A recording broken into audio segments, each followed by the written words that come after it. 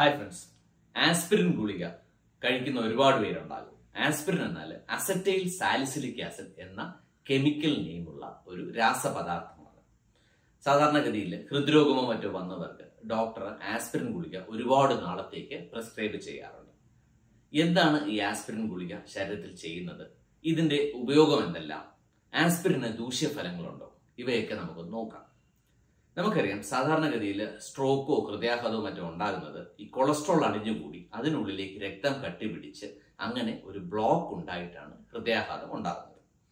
രക്തത്തിലെ ചുവന്ന രക്താണുക്കളും വെളുത്ത രക്താണുക്കളും പോലെ പ്ലേറ്റ്ലെറ്റ്സ് എന്ന് പറയുന്ന ഒരു തരം കോശങ്ങൾ കൂടെ രക്തത്തിലുണ്ട്. ഈ പ്ലേറ്റ്ലെറ്റ്സ് പലപ്പോഴും രക്തത്തിലെ പ്രോട്ടീനുമായിട്ട് ചേർന്ന് രക്തം കട്ടിപിടിച്ചിട്ടാണ് ക്ലോട്ടിംഗ് ഉണ്ടാകുന്നത്. ഈ ക്ലോട്ടിങ് രക്തക്കോലിനുള്ളിൽ സംഭവിച്ചാണ് ഹൃദയാഘാതം ഉണ്ടാകുന്നത്. ആസ്പിരിൻ എന്താണ് ചെയ്യുന്നത്? ഈ ആസ്പിരിൻ അഥവാ അസറ്റൈൽ സാലിസിലിക് ആസിഡ് ചെയ്യുന്നത് ഈ പ്ലേറ്റ്ലെറ്റ്സ് എന്ന് പറയുന്ന കോശങ്ങളുടെ കുമിഞ്ഞുകൂടലിനെ അല്ലെങ്കിൽ ഒരുമിച്ച് ചേരുന്ന പ്രക്രിയയെ കുറച്ച് ലഘൂകരിച്ച് അങ്ങനെ രക്തം കട്ടുപിടിക്കാനുള്ള പ്രവണതയെ കുറയ്ക്കുകയാണ് ചെയ്യുന്നത്. അതുവഴി ഹൃദയാഘാതവും മറ്റും തടയുന്നു. രക്തം കട്ടിപിടിക്കാനുള്ള പ്രവണത കുറച്ചു എന്ന് പറയുമ്പോൾ ഉടനെ രക്തത്തിന് കട്ടി കുറച്ച് വെറും ഒരു വെള്ളം പോലെ ആക്കി അങ്ങ് ബ്ലഡ് എല്ലായിടത്തും ഒഴുകി പൊട്ടി വരുന്ന അവസ്ഥയൊന്നും ഉണ്ടാക്കില്ല. വളരെ ചെറിയ അളവിലാണ് ആസ്പിരിൻ ഗുളിക കൊടുക്കുന്നത്. ഈ ചെറിയ അളവിൽ സാധാരണഗതിയിലുള്ള ചെറിയ ക്ലോട്ടിങ്ങിനെയും മറ്റും അല്ലെങ്കിൽ ഒരു മുറിവ് വന്നുള്ള ക്ലോട്ടിങ്ങിനെയൊക്കെ ഒരു അളവിനപ്പുറമോ അല്ലെങ്കിൽ ഹാനികരമായ രീതിയിലോ ബാധിക്കുന്നില്ല എന്നുകൂടെ അറിഞ്ഞിരിക്കണം. എന്തൊക്കെ സാഹചര്യങ്ങളിലാണ് ആസ്പിരിൻ ഗുളിക പ്രയോജനം ചെയ്യുന്നത്? ഒന്ന് ഹൃദ്രോഗമോ ഹൃദയാഘാതം വന്ന ആൾക്കാർക്ക്. ഒരു പ്രാവശ്യം ഹൃദ്രോഗം വന്നു ഹൃദയത്തിൽ ബ്ലോക്ക് ഉണ്ടെന്ന് കണ്ടുപിടിച്ചു ഹൃദയാഘാതം വന്നു അല്ലെങ്കിൽ ഒരു ആൻജിയോപ്ലാസ്റ്റ് ചെയ്തു ബ്ലോക്കിന് വേണ്ടി ആൻജിയോപ്ലാസ്റ്റ് ചെയ്തു അല്ലെങ്കിൽ ബ്ലോക്ക് വളരെ കൂടിയിട്ട് ഒരു ബൈപ്പാസ് ഓപ്പറേഷൻ ചെയ്തു. ഇങ്ങനെ ഹൃദ്രോഗം വന്ന ആൾക്കാർക്ക് ആസ്പിരിൻ പൊതുവിൽ നൂറ് ശതമാനവും പ്രിസ്ക്രൈബ് ചെയ്യാറുണ്ട്. ഇത്തരത്തിലുള്ള ആൾക്കാർ പൊതുവിൽ ജീവിതകാലം മുഴുവൻ ആസ്പിരിൻ ഗുളിക കഴിക്കാൻ നൽകുകയാണ് ചെയ്യാറുള്ളത് അല്ലെങ്കിൽ അവർ അത് കഴിച്ചിരിക്കണം. രണ്ടെന്ന് പറയുന്നത് തലച്ചോറിലോ മറ്റും രക്തയോട്ടത്തെ ബാധിച്ച് സ്ട്രോക്ക് വന്ന ആൾക്കാർ അതായത് രക്തയോട്ടം കുറഞ്ഞിട്ട് സ്ട്രോക്ക് വന്ന ആൾക്കാർ ഇവർക്ക് വീണ്ടും സ്ട്രോക്ക് വരാതിരിക്കാനും മറ്റും ആസ്പിരിൻ കൂടി നിർദ്ദേശിക്കാറുണ്ട്. മൂന്നെന്ന് പറയുന്നത് ശരീരത്തിലെ കാലുകളിലേക്കോ മറ്റോ ഉള്ള രക്തയോട്ടം അതായത് ആർട്ടറിയുടെ ബ്ലഡ് ഫ്ലോ കുറഞ്ഞ ആൾക്കാർക്ക് കാലിലേക്ക് ഡയബറ്റീസ് കൊണ്ടോ മറ്റോ ആയിരിക്കാം രക്തയോട്ടം കുറവാണ് വ്രണങ്ങൾ വന്നിട്ടുണ്ടായിരിക്കാം ഇങ്ങനെയുള്ളവർക്കും ആസ്പിരിൻ ഗുളിക നിർദ്ദേശിക്കാറുണ്ട്. അതുപോലെ പൊതുവിൽ പറഞ്ഞാൽ ശരീരത്തിലെ ഏത് ഭാഗത്തെയും രക്തക്കുഴലുകളെ ബാധിക്കുന്ന രോഗമുള്ളവർക്ക് ആസ്പിരിൻ ഗുളിക ഡോക്ടർമാർ നിർദ്ദേശിക്കാറുണ്ട്. ഇത് മറ്റു പല കാരണങ്ങൾ കൊണ്ട് രക്തക്കുഴലുകൾക്ക് രോഗം വന്നവർക്കും ആസ്പിരിൻ ഗുളിക നിർദ്ദേശിക്കാറുണ്ട്. ഇനി മറ്റു ചിലർക്കാവട്ടെ ഹൃദയത്തിലെ വാൽവ് മാറ്റിവെച്ച രോഗികൾക്കും ആസ്പിരിൻ പോലുള്ള ഗുളികകൾ നിർദ്ദേശിക്കാറുണ്ട്. ഇനി മറ്റു ചിലർക്കാവട്ടെ ദീർഘനാളായി പ്രമേഹ രോഗമുള്ളവരായിക്കോട്ടെ അതോടൊപ്പം മറ്റു രോഗങ്ങളും ഉണ്ട് അതുകൊണ്ട് ഇവർക്ക് ഹൃദ്രോഗം വരാനുള്ള സാധ്യത ഒരുപാട് കൂടുതലാണ്. അല്ലെങ്കിൽ സ്ട്രോക്ക് വരാനുള്ള സാധ്യത ഒരുപാട് കൂടുതലാണ്. ഇങ്ങനെയുള്ളവർക്കും ആസ്പിരിൻ ഗുളിക ഡോക്ടർമാർ നൽകാറുണ്ട്. അപ്പോൾ പൊതുവിൽ പറഞ്ഞാൽ ആസ്പിരിൻ ഗുളിക കഴിക്കേണ്ടത് ഡോക്ടറുടെ നിർദ്ദേശം അനുസരിച്ച് ആയിരിക്കണം. ചുമ്മാ പ്രമേഹമുണ്ട് അതുകൊണ്ട് ഞാനൊരു പ്രിവെൻഷനായിട്ട് ആസ്പിരിൻ ഗുളിക കഴിച്ചോട്ടെ എന്ന് ചോദിച്ചാൽ അങ്ങനെ ചെയ്യാൻ പാടില്ല. ഡോക്ടറെ കണ്ടിട്ട് അവർ നിർദ്ദേശിക്കുകയാണെങ്കിൽ മാത്രമേ ആസ്പിരിൻ കഴിക്കാൻ പാടുള്ളൂ. ഇനി ഈ ആസ്പിരിൻ കണ്ടുപിടിച്ച കാലത്ത് പ്രധാനമായിട്ടും വേദന സംഹാരിയായിട്ടാണ് ഉപയോഗിച്ചിരുന്നത്. അതിന് ഉപയോഗിച്ചിരുന്നത് വളരെ കൂടിയ ഡോസിലാണ് ആസ്പിരിൻ നൽകിയിരുന്നത്. അത് പലപ്പോഴും വേദന സംഹാരിയായിട്ടായിരിക്കാം ശരീരത്തിൽ എവിടെയെങ്കിലും നീരോ വീക്കമോ വന്നു അത് കാരണം വേദനയുണ്ട് അത് കുറയ്ക്കാൻ വേണ്ടിയായിരിക്കാം അല്ലെങ്കിൽ സന്ധികളുടെ വേദനയ്ക്കായിരിക്കാം. ഇങ്ങനെ പലവിധ കാരണങ്ങൾക്കും ആദ്യകാലങ്ങളിൽ ആസ്പിരിൻ നൽകിയിരുന്നു. ഇപ്പോഴും ചിലപ്പോഴൊക്കെ നൽകാറുണ്ട്. പക്ഷെ പൊതുവിൽ മറ്റ് എഫക്റ്റീവ് ആയിട്ടുള്ള വേദന സംഹാരികൾ ഉള്ളതുകൊണ്ട് ആസ്പിരിൻ ഇങ്ങനെ വേദനയ്ക്ക് നൽകുന്നത് പൊതുവിൽ അത്രത്തോളം ഇന്ന് സാധാരണമല്ല.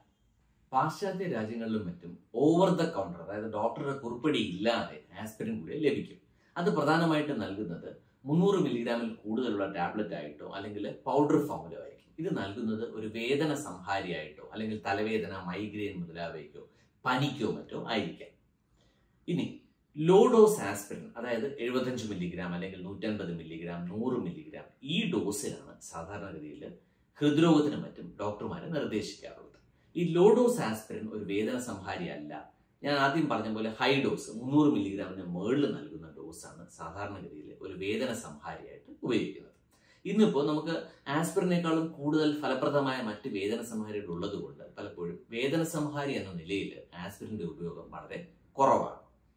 ഇനി ആസ്പിരിൻ സ്ഥിരമായിട്ട് കഴിക്കണോ? എല്ലാവരും കഴിക്കണോ എന്ന് ചോദിച്ചാൽ എല്ലാവരും കഴിക്കേണ്ട ഒരു ഒറ്റമൂല്യമൊന്നും അല്ല.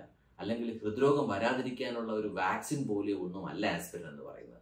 ഒരു രോഗം ഡോക്ടർ നിർണയിച്ച് ആസ്പിരിൻ കഴിക്കേണ്ട വ്യക്തിയാണെങ്കിൽ ആസ്പിരിൻ കഴിക്കുക. അല്ലാതെ ചുമ്മാ പോയിട്ട് എനിക്ക് ഡയബറ്റിസ് ഉണ്ട് അതുകൊണ്ട് ഞാൻ ഹൃദ്രോഗം വരാതിരിക്കാൻ ആസ്പിരിൻ കഴിക്കണം അങ്ങനെ ചെയ്യാൻ പാടില്ല. പിന്നെ കുട്ടികളിൽ ആസ്പിരിൻ കൊടുക്കാതിരിക്കുന്നതാണ് നല്ലത്. കാരണം ഗുരുതരമായ കരൾ രോഗങ്ങൾ വരെ റിപ്പോർട്ട് ചെയ്യപ്പെട്ടിട്ടുണ്ട്. ഇനി ആസ്പിരിൻ സ്ഥിരമായിട്ട് കഴിച്ചാൽ സൈഡ് എഫക്ട്സ് വല്ലതും ഉണ്ടോ? സാധാരണ ഈ ലോ ഡോസ് ആസ്പിരിൻ എന്ന് പറയുന്നത് അത് ഹൃദ്രോഗത്തിന് മറ്റും നൽകുന്നത് പൊതുവിൽ വളരെ സേഫ് ആണ്. കൃത്യമായി നിർദ്ദേശം അനുസരിച്ച് കൃത്യമായി കഴിക്കുകയാണെങ്കിൽ ആസ്പിരിൻ ഗുളിക എഴുപത്തഞ്ച് മില്ലിഗ്രാമോ നൂറ്റമ്പത് മില്ലിഗ്രാമോ കഴിക്കുന്നത് സേഫ് ആണ്. വളരെ റെയർ ആയിട്ട് ചിലപ്പോൾ ബ്ലീഡിങ്ങോ മറ്റും വരാറുണ്ട്. പക്ഷെ അത് സാധാരണഗതിയിൽ മൈൽഡാണ് വളരെ റെയർ ആണ്. ഇനി സ്ഥിരമായിട്ട് വളരെ കൂടിയ ഡോസിൽ ആസ്പിരിൻ കഴിക്കുമ്പോഴാണ് പലതരം സൈഡ് ഇഫക്ട്സും ഉണ്ടാകുന്നത്. വേദന സംഹാരിയായിട്ട് ഡോക്ടറുടെ നിർദ്ദേശത്തിന് വിരുദ്ധമായിട്ടോ അല്ലെങ്കിൽ ഡോക്ടറോട് ചോദിക്കാതെയോ സ്ഥിരമായിട്ട് ആസ്പിരിൻ വളരെ ഡോസിൽ കഴിക്കുമ്പോഴാണ് വയറ്റിൽ നിന്ന് ബ്ലീഡിങ്ങോ വ്രണങ്ങളോ അൾസറോ അല്ലെങ്കിൽ പലപ്പോഴും വൃക്കരോഗവും മറ്റും ഉണ്ടാകുന്നത്. സാധാരണഗതിയിൽ ഈ ആസ്പിരിൻ ഗുളിക കഴിക്കുമ്പോൾ ഭക്ഷണത്തിന് ശേഷം കഴിക്കാനാണ് ഡോക്ടർ നിർദ്ദേശിക്കാറുള്ളത്. അതിനൊരു കാരണമുണ്ട്. ആസ്പിരിൻ വയറെരിച്ചിലോ അല്ലെങ്കിൽ ആസിഡിറ്റി പോലത്തെ സിംറ്റംസോ ഉണ്ടാക്കാൻ സാധ്യതയുണ്ട്. അതുകൊണ്ട് അത് കുറയ്ക്കാൻ വേണ്ടിയാണ് ഭക്ഷണത്തിന് ശേഷം സാധാരണഗതിയിൽ ഡോക്ടർ കഴിക്കാൻ നിർദ്ദേശിക്കാറുള്ളത്. ഇനി പലരും ചോദിക്കും എത്ര നാൾ ആസ്പിരിൻ കഴിക്കണം? എനിക്ക് ഹാർട്ട് അറ്റാക്ക് വന്നു അല്ലെങ്കിൽ എനിക്ക് ഒരു സ്ട്രോക്ക് വന്നു എത്ര നാൾ ആസ്പിരിൻ കഴിക്കണം?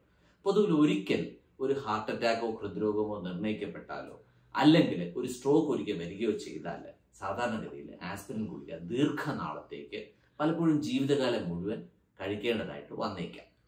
പക്ഷെ അറിഞ്ഞിരിക്കേണ്ടത് വീണ്ടും ഹൃദ്രോഗമോ അല്ലെങ്കിൽ സ്ട്രോക്കോ വരുന്നത് തടയാൻ ആസ്പിരിൻ ഗുളിക വളരെ ഫലവത്താണ് എന്നുകൂടെ മനസ്സിലാക്കുക. ഇനി ആസ്പിരിൻ പല ക്യാൻസറുകൾ വരാനുള്ള സാധ്യത കുറയ്ക്കും. സ്ഥിരമായിട്ട് ആസ്പിരിൻ കഴിക്കുന്ന രോഗികളിൽ ഉദരസംബന്ധമായ ക്യാൻസർ വരാനുള്ള സാധ്യത കുറവാണ്. അത് ഇമ്പോർട്ടന്റ് ആയിട്ടുള്ള ഒരു കാര്യമാണ്. അതുപോലെ തന്നെ സ്ഥിരമായിട്ട് ലോ ഡോസ് ആസ്പിരിൻ കഴിക്കുന്നത് ഹൃദ്രോഗികളിൽ ഹൃദ്രോഗം വീണ്ടും വരാതിരിക്കാൻ വളരെ ഉത്തമമായ ഒരു മരുന്നാണ്. അതുകൊണ്ട് വളരെ റെയർ ആയിട്ടുള്ള സൈഡ് എഫക്റ്റുകളെ പേടിച്ച് ഡോക്ടർ നിർദ്ദേശിക്കുന്ന വിലപ്പെട്ട ആസ്പിരിൻ ഗുളിക കഴിക്കാതിരിക്കരുത് കൃത്യമായി കഴിക്കുക. ഇനി ആരൊക്കെ ആസ്പിരിൻ കഴിക്കരുത് എന്ന് ചോദിച്ചാൽ ഒരു ബ്ലീഡിംഗ് ടെൻഡൻസി അഥവാ ബ്ലീഡിംഗ് ഉണ്ടാകാൻ സാധ്യതയുള്ള ആൾക്കാർ അല്ലെങ്കിൽ വളരെ വഷളായ കരൾ രോഗമുള്ള ആൾക്കാർ ഇങ്ങനെയുള്ള ആൾക്കാർ അല്ലെങ്കിൽ പന്ത്രണ്ട് വയസ്സിൽ താഴെയുള്ള കുട്ടികൾ ഇങ്ങനെയുള്ളവർ സാധാരണ ആസ്പിരിൻ കഴിക്കരുത്.